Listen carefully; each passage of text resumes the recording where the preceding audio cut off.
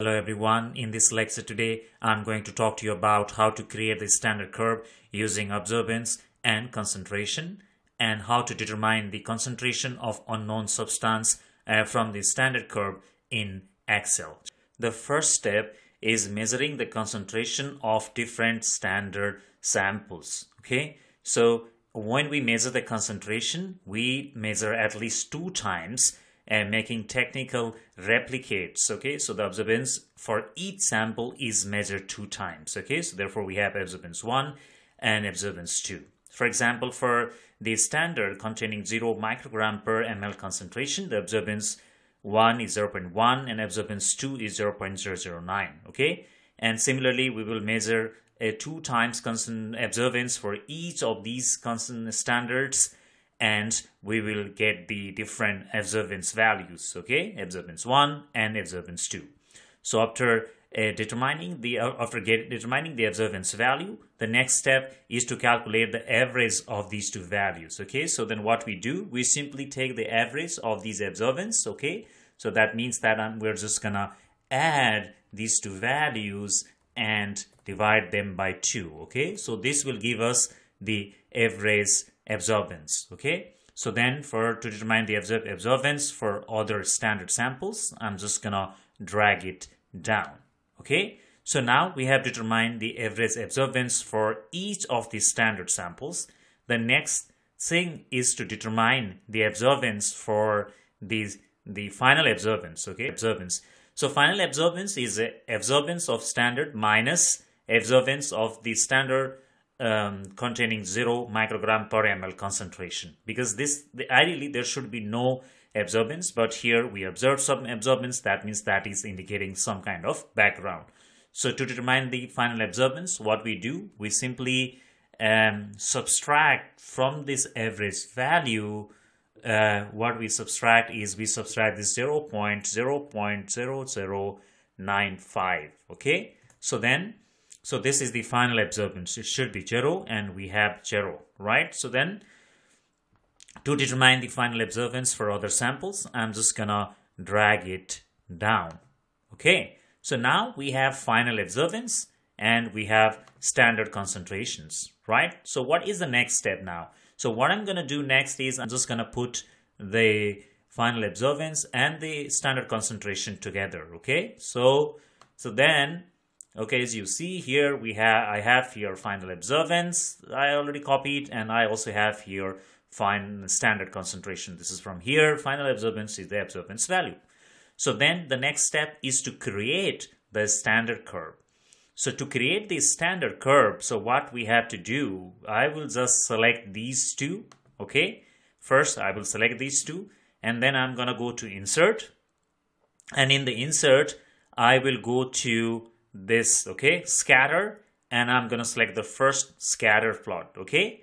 So what did I do? I went to insert and then to scatter and to first scatter plot, okay? So this I already did, so don't need to do it again. So then I'm just gonna enlarge it a bit. So what I'm gonna do now is that on this scattered plot, okay, on this scattered plot, I'm gonna add the trend line, okay? So to do that, I'll go here to the plus chart elements and then I'm gonna go to trend line and then I will just I will just go to trend line and then I'm gonna select on linear okay? So now I have added the trend line on this chart and just I'm gonna go to more options and in the more options okay if you drag it down further we have to find where it says show display equation on chart okay? I'm gonna select this display equation on chart and I'm also going to select display r squared value on chart. Okay, so now we have the equation and r square value both displayed on this chart. Okay, equation and r square value both value both are displayed on this chart. Okay, so I'm just going to increase the size so that it's visible for you. Okay, so now we have this r square value and the equation displayed on the chart. All right.